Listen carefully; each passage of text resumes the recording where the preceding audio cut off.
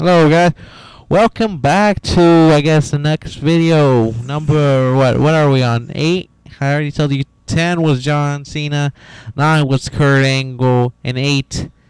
This one's gonna be a little weird for a lot of people. Number eight was Stone is Stone Cold Steve Austin. That's right, that's right, Eddie Guerrero. I won't tell you. You gotta watch, and I'll tell you eventually what number he eventually is. But Stone Cold at number eight. Why do I have him that at number eight? Remember, these aren't as who of who I think are the best. This isn't who I like, who I like the most. Doesn't mean anything for you know like that you would think. You know, you're like, oh no, no, this guy's way better. No, no, no. This isn't about. This isn't about who I think are the best. These are just if I wanted to watch wrestling, who I want to watch. You know, what are the ten guys I want to watch and and do something with? And it's these guy that I'm telling you right now. It's not. I'm not telling you. This is the greatest guy ever. This is it. You know, I'm not saying that. So it's just my opinion. Who are my favorite guys? It's just my my opinion. You know. And if you have a problem with that, you can you can have a problem with that and make your own video. I really don't give a damn. But here goes Stone Cold. The reason I think I have him this at number eight, I wasn't I wasn't biggest fan of him as everyone else was. I was a fan, but I wasn't as huge of a fan as everybody else. I was more of a fan of The Rock. The Rock and um and what's his name and yeah, I was more of a fan of The Rock and the Hardy. That's pretty much my attitude right there. That was my attitude over The Rock and them. But I, I still like Stone Cold. I my cousins were obsessed with Stone Cold. That's who was obsessed. But he was older than me. He older like three years, so he was pretty much a teenager. Yeah. So he, he was a Stone Cold fan. He was crazy for Stone Cold. I did actually have Stone Cold stuff, so it was not like I didn't like Austin, but I had um, it was this I guess this life life size doll of him or sorry, like a you have to put like water or air in it or something like that, and, and you got to punch it. It's like a punch Stone Cold thingy. You had to punch it and punch it. I had that. You know, I got it for my birthday. It was pretty cool. I enjoyed it.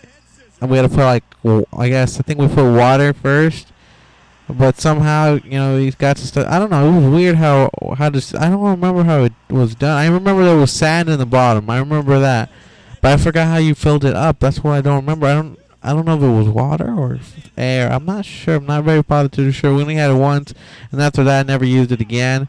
I did have Stone Cold toys. I had like three of them.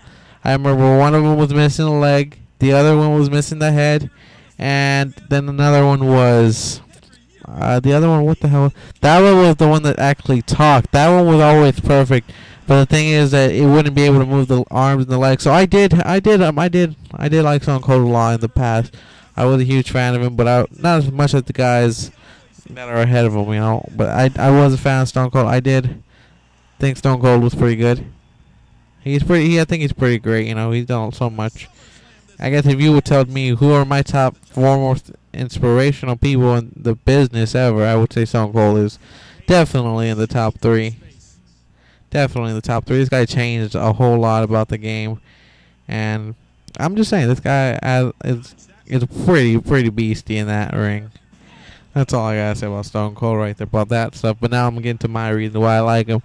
I think it's that his character. His character is just badass. You know who doesn't like a character like that? I enjoy it. Uh, um, it's it's pretty cool. It's a pretty cool character. Uh, I remember watching this uh, VHS. I remember it was Stone Cold. I think it was like a little documentary about him, just his his rise to the top. It was my cousin had a, a little a little movie about him that they had released, and it went from the Royal Rumble until WrestleMania. The one Mike Tyson was involved, the Shawn Michaels one, and it had him uh, giving a, I guess like a little commentary and all this and stuff and that a little story about it that they showed the whole build up to WrestleMania and through with Stone Cold what Stone Cold was doing all this and that. And I remember I, ev- I would watch I watched it like I remember like I think five six times in a row because I once stood uh, stayed at their house for a sleepover. And we watched like five six times in a row without getting bored. And I don't know why but it was it was a good one uh, kept seeing Shawn Michaels getting punched in the face by Mike Tyson for some reason. I think was it like that? I can't remember, but I remember Stone Cold was in it, and I remember that one. Uh, it's just, you know, I've I've been a fan of him, but if you know, I'm not gonna say, you know, there's a couple things I don't like. I don't know what it is, but some of the couple things I'm not a big fan of him because it takes a lot for me to be a fan of the guy. Nah, I'm just playing. I, I like everybody, man. That's my philosophy. You know? Oh, that's my philosophy. Uh, maybe I should mention the guys, other guys that didn't make the cut, guys that I also really do like a lot. Chris Jericho. Chris Jericho is one of those guys. I don't know. I think it's just, I don't know. There's no real reason why I like him.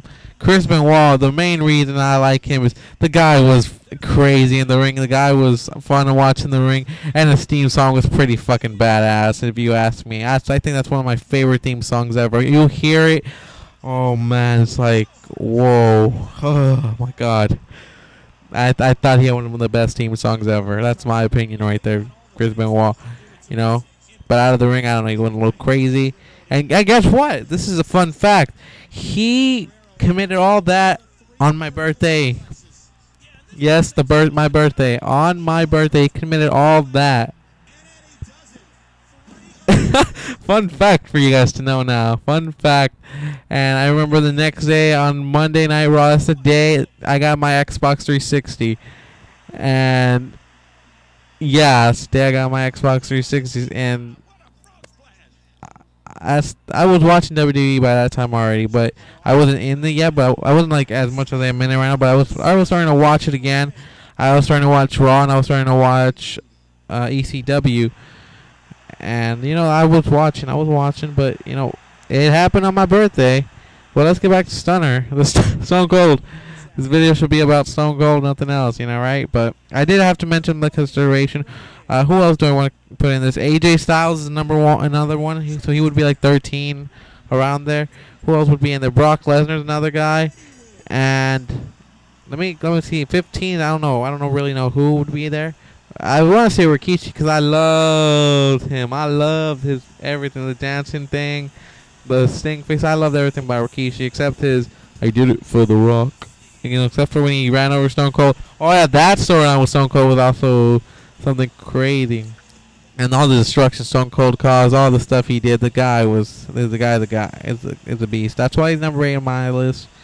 That's my reasons for it. Maybe you have him way higher in your list, and that's great. But this is my list, and I don't know if you'll enjoy my list, but this is my list, and I'm just saying.